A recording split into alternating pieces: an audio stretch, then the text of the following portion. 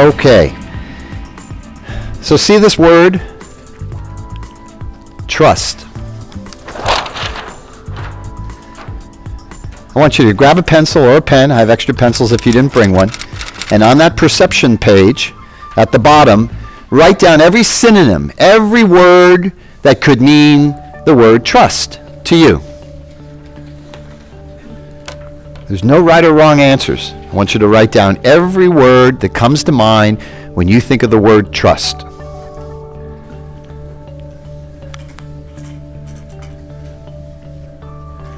Okay, let's just take another minute and finish up.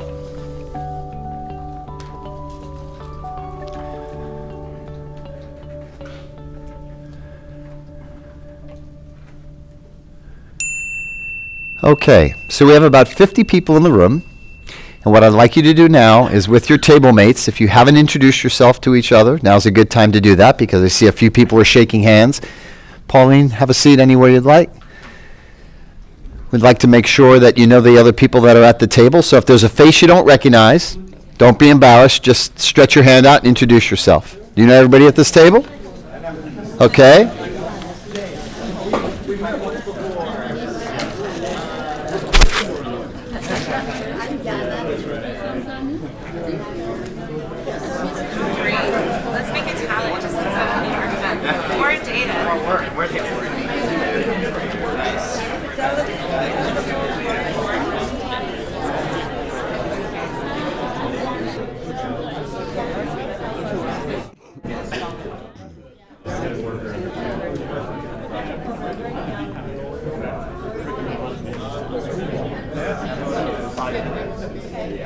So now that you've gotten to meet each other and you're best friends, I want you to compare your list to the other people at the table, and I want you to have one consolidated list when you have multiple words that more than one person pick. So, for example, if two of you on your list have three words that are the same, put that on a separate piece of paper. So we want to know in the end how many words more than one person had at the table. Is there any word that everyone had? So you want to look on your list for the word that everyone had.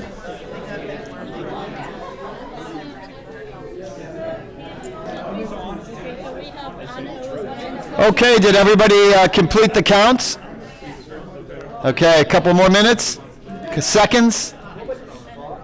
Anybody still need more time to tally their counts? Okay. So by a show of hands, is there any table any table where everybody had picked one word? Okay? All right. So we have three three tables. Any table that uh, let's say three to four of the six people had one word? Yeah. Okay. Okay, so that's more. Was there any table where two words were picked by everybody at the table? Not by everybody, okay. Any table where two words were picked by three or four people? Okay, we have one, one, two, three, four, five, six tables. Any table that obviously not everyone picked three words, but three to four people pick three words? Two. Any table four? Okay, any table where s- there were three or four people had four words? One table. Okay, any table five words? Okay. So, by a show of hands, by a show of hands, how many people had five words or more on their list? Okay. How many people had six or more words on their list? Seven. Eight. Nine. Anybody have ten? Yes? Anyone? Anyone have ten? Okay, nine. Nine different words when I asked you what that meant, right? A synonym for that word. Nine. So can you imagine if we put out a policy and we say, we trust everyone to follow this policy, right? You've got nine definitions for that word, nine synonyms, nine different meanings. So what do you think happens when you have a staff meeting and you use any terminology? You are assuming the word you use, everybody has a common reference for. I picked a five letter, easy word that's on every dollar bill. Right? Everybody, everybody's familiar with this word. No one said, I don't know what that word is. Everybody knew how to spell it. It's the interpret, thank you. It's the interpretation of that word. So we use words to express what we want to get accomplished, when we want to encourage people, when we want to discipline people, when we want to question people because we don't understand, we need more information. So you can imagine how many words make up a sentence, right? Five to ten words, depending on how long you want to write your sentence. And if every one of those words has a potential for, at least among four of you, nine interpretations, try getting through that sentence. 45 meanings for all the words in there. And you wonder why people don't follow policy, or why they don't understand something, or accuse you of not communicating effectively. You see how easy it is? So now we have to talk about styles of communication because you know yourself and you might know your spouse or your significant other or your partner or your children or your parents, but your world is much broader than that.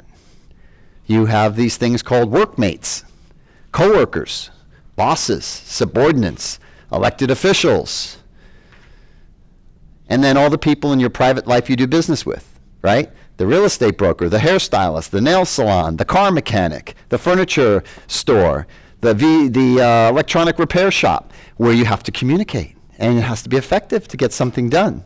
It seems when it comes to us spending money, we ask clarifying questions, don't we? Oh, it's going to cost that much? Why is it going to cost that much? What do I get for that? Do you guarantee your work? Is there a warranty? How long is it going to take? If I pay you more money, do you get it done faster? How many ask those kinds of questions when they are taking hard earned cash out of their pocket and giving it to someone? Most of us, right? Do we do that in the workplace? Oh, you want, you want, you want a new design? Okay. you want a, you want a uh, purchase order done? Oh, okay. You want to post this to the website? Okay. So start thinking about the way you run your life because you're all successful you wouldn't be here, you wouldn't be working for our department, and you wouldn't have money in the bank, and you wouldn't have a plan for the future if you didn't in your private life think of all those things. And you owe it to yourself to bring that to the workplace. So I have something I can read, but I'm going to hold off just a few minutes about the marriage between your private life and your public life and how to make happiness in both places. But we'll save that for just a little bit later on. So our next exercise, if you turn the page, you will see there are style indicators. So right here in front of you is a style indicator. It's a columned sheet, and it asks you at the top, please place a check by each word that is really like you. Add the total number of checks in each column. The four numbers at the bottom of the page are your style indicators. So just go down the column and check what applies add up the checks in the bottom, and then we'll move forward. Any questions? No question is a dumb question, except in basic training.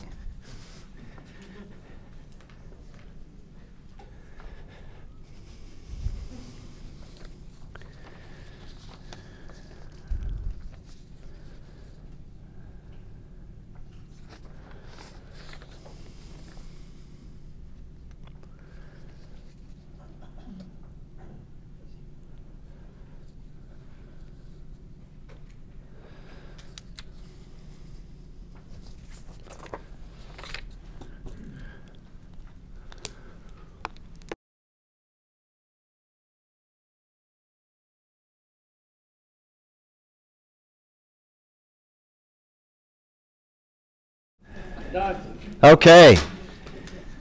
This is not a test exclusively for engineers or accountants, so. Everybody, uh, everybody good? Anybody need a few more seconds? Okay. By a show of hands, how many people have the highest number in the column brown? Brown. Brown. Okay. All right. Hands down. How about the next color, which is red? Thank you. How many people by a show of hands had the highest number in red? One. Okay. And for blue, how many people had blue? Okay, looks like the majority had blue. And what about the last color, green? Okay, fair number, fair number. All right, so let's start the lowest number, red. Red, make your own kind of music. Signals red tends to project. Fast, dynamic, energetic, exciting, nonlinear, playful, flexible, humorous, creative, fun, and an adventurer. Okay, the next color. What was our next highest number? Do we have a lot of browns? Show of hands for browns again. Okay. Brown. Signals brown tend to project. Their motto is just do it. Direct, dutiful, decisive, practical, fast paced, structured, disciplined, accountable, bottom line, likes to lead, action focused, results oriented, builder, achiever, chain of command, on time, and on task. Okay, that are the Browns. Next, I think we had uh, green was uh, the next category. How many greens again? Raise your hand, please. Okay, kind of tied with the Browns. Green, look before you leap. Signal green tends to project. Factual perfectionist, plans, researches, analyzes, thoughtful, literal, exact, prepared, theoretical, accurate, sequential, logical, strategic, quality focused, thorough, and cautious. And lastly, blue. Let's see those blue. That sea of blue. Okay, blue. Signals blue tends to project. Their motto, let's work together. Okay, non confrontational, giving, avoids conflict, relationship building, sensitive, friendly, supportive, wants to get along, honest feelings important, team oriented, helpful, amicable, picks up subtleties, considerate, people oriented. Okay, so before you turn the page, just a few more details. I'm going to have, in turn, somebody I picked from each color group. You're by yourself, so you get to read that. Um,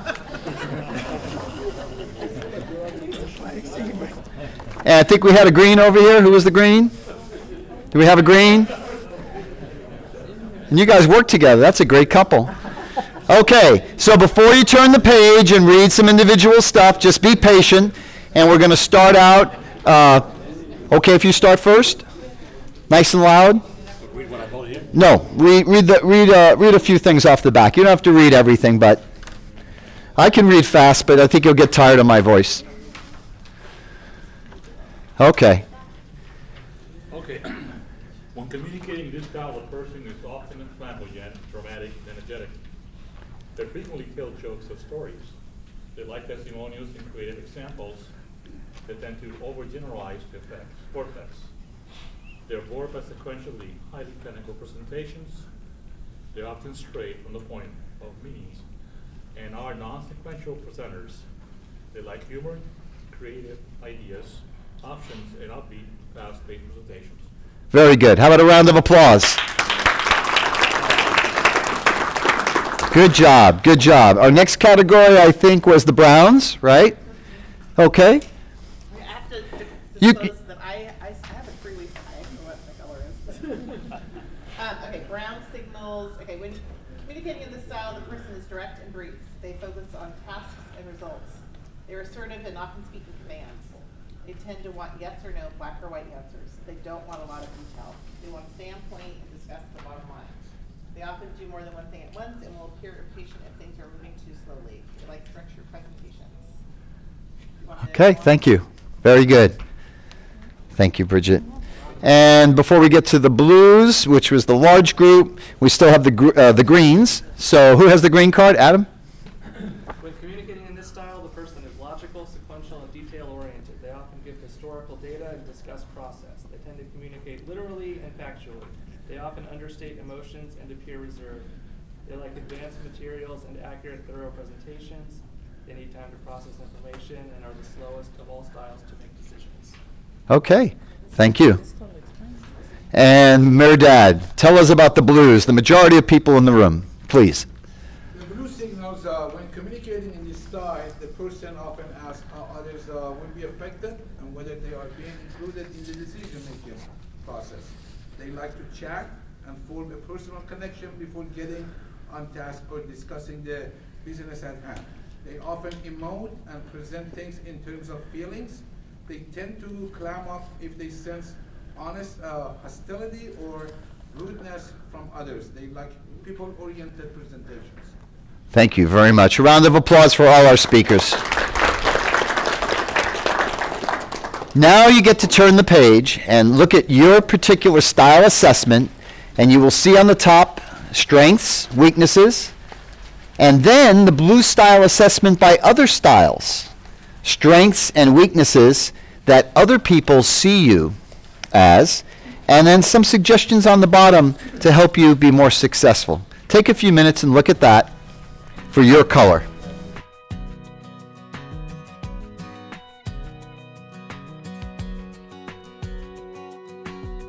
Barbed wire fence carving on a hillside, cutting holes in the midday sun. Like a postcard framed in a windshield covered in dust. I love the rhythm of an old gray black top, 33's just whistling by. Steer the wheel one handed on a two lane, hugging that line. I got the windows down, no one else around, singing.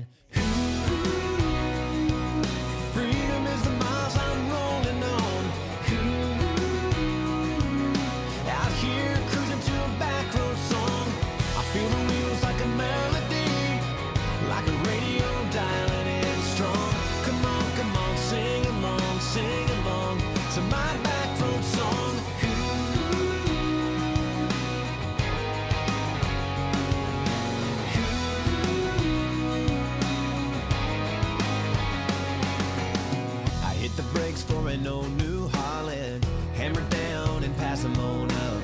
The breeze smells like a summertime just been cut. I got the windows down, way out of town, singing. Freedom is on.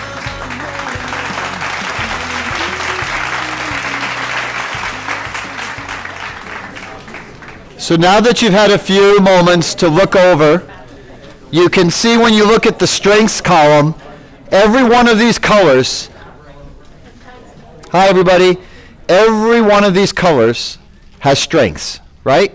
So that's the positive. But with the positive comes weaknesses. And it's important to kind of recognize some of the weaknesses. You may identify with some of these weaknesses, you may not.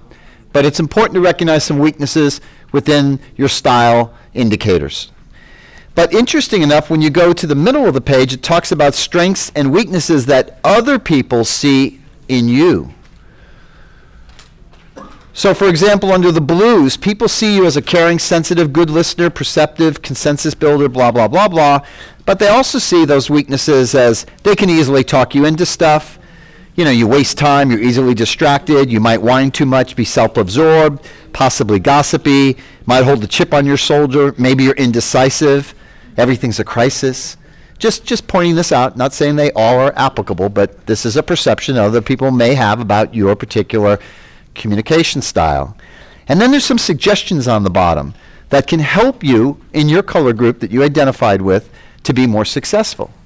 And I'm sure we can all learn and all improve ourselves, so nothing wrong with tips on the bottom. And then it's got a couple of funny messages, you know, messages to you in that color group, and then messages from blues to everybody else. So I hope everybody's had at least a chance to review for their color group. You can take this with you, and when you figure out someone you either work for or works for you or with you is a different style than you, it may help you with your communication skills. A little humor on the colors on the back of the card. We'll start again with red. Red uses sayings like, trust me, let's party, chill out, whatever. Famous Reds include Amelia Earhart. Robin Williams, Martin Luther King Jr., Ernest Hemingway, Whoopi Goldberg, Goldie Hawn, Jackie Chan, Ted Turner, P.T. Barnum, Mark Twain, Mae West, Crocodile Dundee, he's dead, Eddie Murphy, and Dolly Madison. Okay?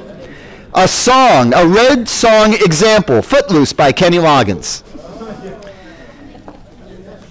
Next, we had the green, right? Or was brown the next group? Okay. Raise your hands again, Brown. Oh, I see less hands going up, it seems. Nobody wants to identify. Hi. Okay, Brown. Brown sayings. Do it now. Read my lips. If it ain't broke, don't fix it. Just do it. No whining. Fish or cut bait. Famous Browns. Shirley Chisholm. Winston Churchill. Teddy Roosevelt and the Rough Riders. Lee Iacocca. Golda Meir. First Prime Minister of Israel. Captains Kirk and Picard. Margaret Thatcher. General Patton. Bruce the Boss Springsteen. Hillary Rodham Clinton. Former First Lady. Rudolph Giuliani. H. Ross Perot and John Wayne.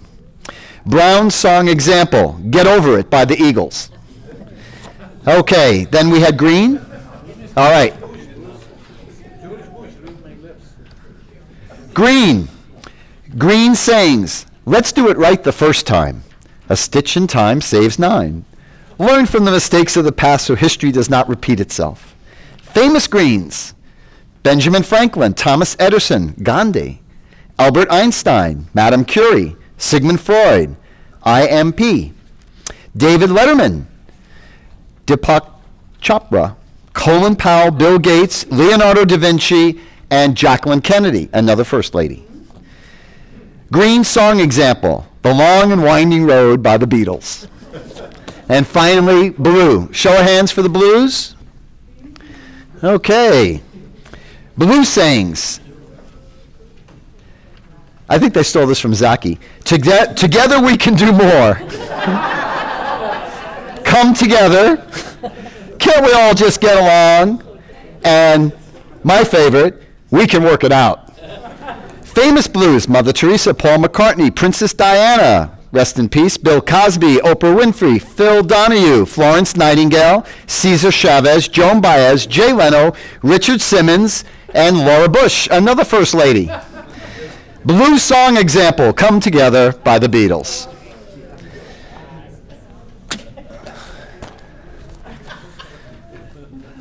Okay, so how do our perceptions and character traits all come together? Steven Smith, author and lecturer on egonomics, what makes ego our greatest asset, has some insights on how to blend the two and what he refers to as ego. Some interesting stats that go with that. 2,200 businesses open daily. 2,100 also fail. 90% of new products fail too. To be successful, remember it's not your idea against others, it's the we against something big. How do we get the best ideas supported and move forward? Answer less focus on function and more on big picture stuff. For us as LADOT workers and managers, it's our stakeholders in the end.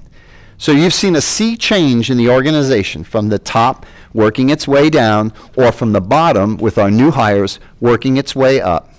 A sea change in the organization about trying to get the best ideas supported and focusing not so much on the function but on the big picture. We've moved to active transportation from a very vehicle-centric organization and we are incorporating and recognizing everybody at one point or another is all of the different modes of mobility that we are pushing or encouraging or helping to build the right infrastructure to make the city safer. So you've all been part of a sea change. And with rotations, with promotions, with other opportunities, you're not pigeonholed in one function, one focus, one myopic viewpoint. And by interacting with your coworkers in other work sections and in other projects where we pull together teams like we did for People Street and Vision Zero and the Reseda protected bike lanes and you know the Fig, Fig Street, the, the Broadway dress rehearsal, all of those things demanded participation from a variety of groups and disciplines within the organization. And that is so different than what we did 10 years ago when I came here. and people were trapped and locked into one thing. And if you weren't part of that one thing, you were kind of not cast aside, you were tolerated. And that's all changed in our organization, and you're part of this sea change. Whether you're close to retirement, older like I am, or you're one of the very new people who showed up this week and we wondered, who are you? You know, brand new, fresh meat, brand new blood. Okay, ego is just as much a reason for success as it is for failure. You just need to recognize how and when to use it effectively.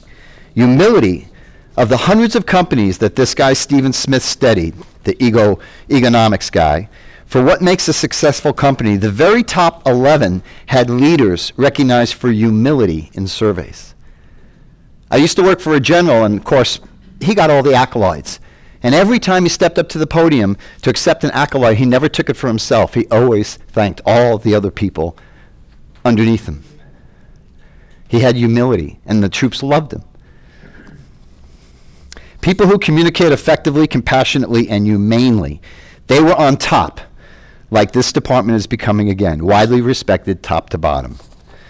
In the end, we have to recognize genetic personality fingerprint, and you did that today in this short exercise you have certain personality characteristics that have been brought to you or developed throughout your childhood as a young adult and into adulthood. They're not going to disappear, and they manifest themselves in what the things are that you checked off. In the end, motive doesn't necessarily change, but we can maintain our intelligence, self respect, and genuine confidence. So I promised you a little light ending. We have about 10 minutes. I just highlighted uh, a coworker of mine shared this with me, and it was uh, entitled "How to Fall in Love with Your Work." And there's an author named David Whyte. He wrote a book called The Three Marriages, and it reminded this uh, coworker of mine just how much art informs life. In the book, uh, the author posits that we all have responsibility for three marriages in our lives: our inner selves, with our loved ones, and with our work because you should love yourself and you should love the people that you surround yourself with. You don't necessarily have to love the people you work with, but it sure helps if you like them a lot. Separating those marriages, he says, destroys the foundation of happiness we deserve. But when we embrace those three marriages in an integrative way, we can bring our best selves to each of them. So, several points that he wrote, six simple ones. I don't think I have to go into big explanations for each one. The first point is know yourself. Know yourself. Understand your skills, passions, and values. Exhibit behaviors that align with those values. Hold your organization and your teams to a high standard. No whining. When climbing the corporate ladder or scaling the jungle gym of their careers, leaders, like many of us, landed in roles they didn't expect or covet. You think Seleta ever dreamed she'd be sitting down here working with us after, a, you know, being up in San Francisco, loving her job? You don't know. When climbing the corporate, okay, I said that. Um, don't complain about assignments. Look for what there is to learn and set out to use your passions to transform your job into a passionate, fun experience. Rethink the ordinary. This is the story, this is worth reading. So the author says when consulting to a hospital on a major change project, I met an inspirational leader whose work put him at the bottom of the organization hierarchy. The bottom. Do you remember our last general manager? Um, Mr. Muckery, uh, he had this concept that he learned in the Navy. Instead of a pyramid, it was an inverted pyramid, and he was on the bottom of the organization, giving the support and putting himself at the very bottom of the organization. Okay, so this person was at the bottom of the organizational hierarchy. He worked in environmental, which is code for the department that mops floors and cleans patients' rooms. This individual pushed a bucket through the wards for a living, yet loved his job. Every day he'd clean one patient room after another, but he'd take time to chat with patients and inquire about their well being. He cared deeply about the people inhabiting those rooms, and it showed. When the hospital measured patient satisfaction, just like we are going to be measuring customer satisfaction in the coming year, a metric crucial to their financial success and a metric crucial to us getting our budgets passed getting the public to understand we're here to support them. When the hospital measured patient satisfaction, a metric crucial to their financial success, the floors he was assigned to reported the highest scores in the entire hospital. So when you pick up that telephone and you talk to a stakeholder, or you talk to a vendor, or you talk to somebody in another city or another department here in our city, every word you say is representing the department. And their impression of the department is going to come from that conversation they have with you. And if it's a positive conversation and they hang up the phone and they remember that, if it comes up in conversation with one of their colleagues or somebody else, or they meet someone else in the department, say, hey, you know, I just got off the phone with uh, Kimmy Porter, Sergeant Kimmy Porter, and, and you know, she, she had the answer that I needed. It wasn't what I wanted to hear, but she knew exactly what to tell me. And she said it with, you know, it sounded like a smile in her voice. When people get that impression from our encounter, it's invaluable. Okay, just three more. Stay curious. One common characteristic I've mentioned is that they, all leaders are intensely curious and interested in learning about a wide range of topics. Curiosity significantly contributes to engagement at, work. Next, mindset matters. A universal characteristic that leaders possess is that they've each adopted a mindset of abundance rather than scarcity. They truly believe that we operate in a world of plenty plenty of resources, opportunities, and possibilities for success. As a consequence, they are generous with their time and insights and find that generosity reciprocated by others. How often have you had a dilemma with a project or a challenge with a task and you didn't really know how to solve it or you had an idea but you weren't 100% sure? Say you're a district engineer in Hollywood and you've got someone with 10 years experience there who has been up and down the streets of Hollywood and knows exactly what's going on and you go to that person and you can ask. But you have to have a mindset that it can be accomplished. And you go to that person and say, I want to accomplish this goal. Help me to accomplish this goal. How can I accomplish this goal? Did you ever have to accomplish this goal before? Because you'd be surprised, you know, there's nothing really new under the sun, right? And there's lots of expertise surrounding us. So if you know your communication style and you know the person you're going to go talk to's communication style, you can get this information in abundance. And lastly, find your tribe. Without exception, each of these individuals, these leaders that were interviewed, has managed to surround themselves with like minded people who exude positive energy. They have a best friend at work, which research proves makes a difference. Rather than engage with naysayers or waste time trying to convert negative thinkers, these leaders harness the power of the tribe to get things done and celebrate. We have had two employee surveys. We had over 300 people respond this year, which was at least a 10% increase from last year. What was the number one thing that people said they liked about LADOT? You tell me. The staff, the people I work with, my friends, my work family. Know your tribe. So with that, we'll end on a lighthearted note. Some people ask me, well, how do you run your meetings? Well, you know, I run meetings so that they're participatory, so that people have a chance to participate. I do an agenda because I want to cover certain topics, but I ask my staff to edit that agenda and add in what they would like the rest of the group. I have a small team. I have about seven people that I meet with once a week for an hour. That's my staff meeting. So people say, well, how do you control people at a staff meeting? I mean, some people like to talk a lot. You talk a lot, Bruce, so how do you deal with other people who talk a lot? Uh, or, you know, how do you stay on topic? You know, some people just, they start talking about one thing, you know, the transit fares or maintenance at the bus depot, and all of a sudden goes from that to tap cards, goes from that to advertising, you know, and forget about the maintenance that you brought up. So how do you do that? Well, there's a few secrets that I use in my job that my staff lets me uh, have some fun at staff meetings. So if somebody's just kind of making up stuff, I just hold up this card, you know if somebody's complaining too much, you know, I'm really tired of hearing it, I just hold up this card. you know, some people just love to go off on a tangent, right? So we have to hold up that card. Or someone gets up and pontificates too long, like I'm doing today, speech, right? And then some people just don't stay on topic, so we have a card for that. So we can tell people the same. And occasionally somebody might say something that's not exactly professional, you know, but you want to let them down easily, so we hold up this card. Okay, and then there are some people, I once worked for a, a, colonel, and I was getting ready to go brief a general, and he knew I was long-winded, and he said, you know, Bruce, when you go in and you talk with a three-star general, if he asks you what time it is, don't tell him how to build a watch. TMI. If you enjoyed today's presentation, please visit us again. Thank you, everyone.